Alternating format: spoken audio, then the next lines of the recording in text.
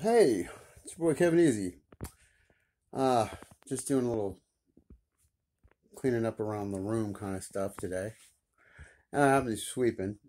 And I just wanted to talk about one of the things that, I don't know, I guess it doesn't really piss me off, but it's just one of those irritants. It's like, uh, I don't know. I don't know what to describe it as, but here, here's what I'm going to talk about. These things.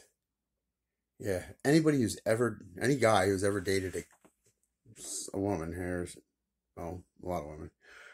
Anyways, these little fucking things, these little hair clips. What? You always find them. Like, I don't even remember my girlfriend ever having them in her hair.